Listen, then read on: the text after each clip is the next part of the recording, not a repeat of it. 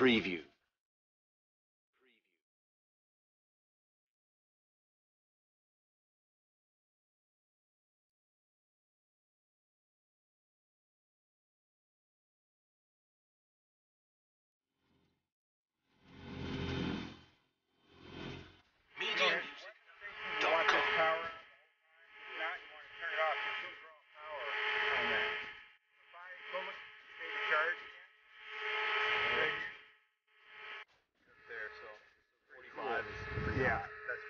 When you gotta start lifting these up.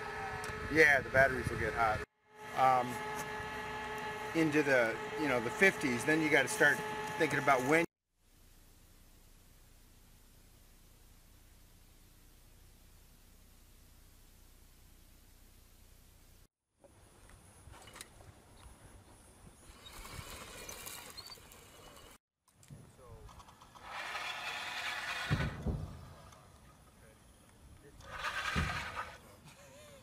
This is an enabler. It's a force multiplier, and it'll preserve uh, and and combat power, you know, from from a safety standpoint. But it'll also uh, allow them to cover more area, larger area of influence. Uh, it'll let the the current force do more, cover more area. Lightening the load, you know, they can offload it on here. They can get the objective. They're not tired. They could have more ammo. They can um, fight for 72 hours with this. They could load this up and then fight for 72 hours without resupply. So it allows, I think it's going to enable them to complete their mission that they're going to be given for this expeditionary, the, like the, the company landing teams. It, it's going to help make that possible because they're limited in the airlift that they can put in, but they still have to fight. They have to have their gear. So I think it's an enabler for the, the upcoming missions and the expeditionary profiles that are, they're looking at. This is the, the General Dynamics Land Systems Multi-Utility Tactical Transport, or MUTT. So yeah, so this is the uh, tracked version of the 4x4. Uh, you can swap out wheels. The wheels are um, also effective. The tracks are good for floating on mud and snow and sand. And there's also a 6x, uh, so six wheels, six driven wheels, uh, and then an 8x, which is uh, uh, eight wheels. And those are, are really filling the gap filled by the original M274 Mule. The purpose of it is to help dismounted warfighters by carrying load, letting them offload equipment or carrying large, uh, more capable weapons like this where we take five people, one person can get a, a, a 50 cal downrange.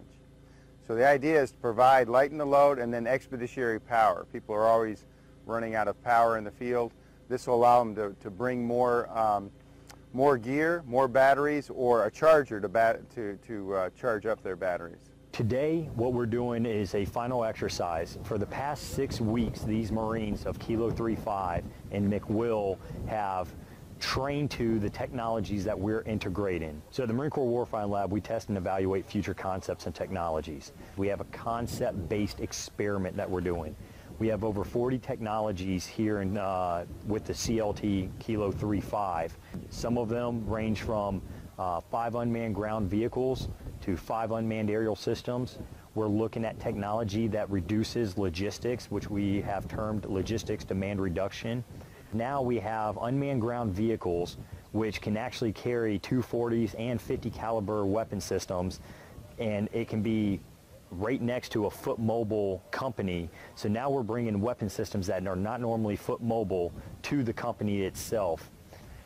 We have five unmanned aerial systems that we're going to be uh, playing with. One of them is the Black Hornet. It's about four inches long. It is brought down to the squad level. This thing cannot be heard after it goes above 30 feet. So you basically can peek around the corner without the enemy knowing and you can see what is around the next corner for that squad leader to know. The small quadcopter that uh, had been flying around is called the Instant Eye. It has three cameras that allow it to see straight ahead, 45, or straight down. You can reach out and see what's coming at you and what uh, you can be expecting here in the next 100,000 meters. The 40 technologies that we're experimenting with will make the Marine Corps more efficient, more lethal, and more survivable. So ultimately what we want is the first person or first thing in the door is a robot to get SA into what's around the next corner.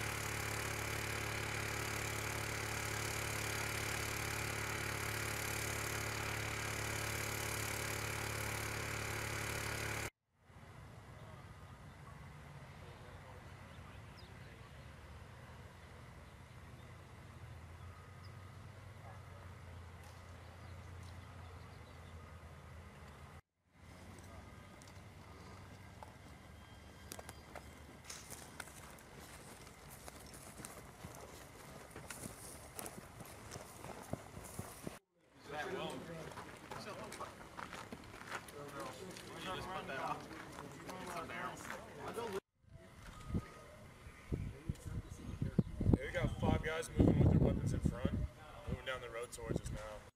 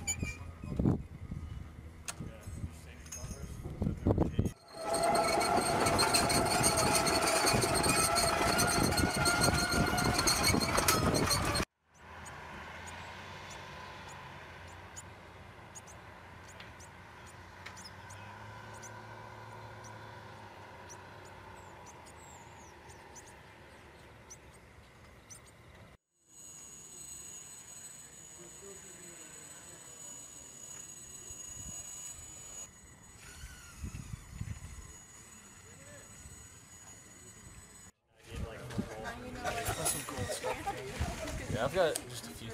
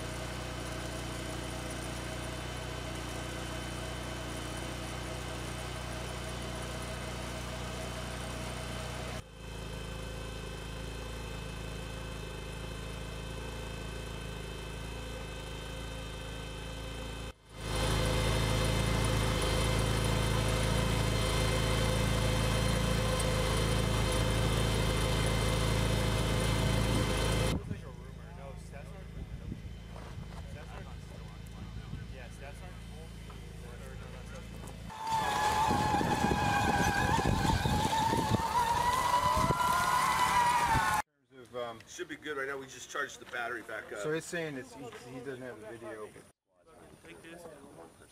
So we're just gonna have them use one, one per squad. So, do you have them set up? Can you break them out real quick so just get them to, to pick them up?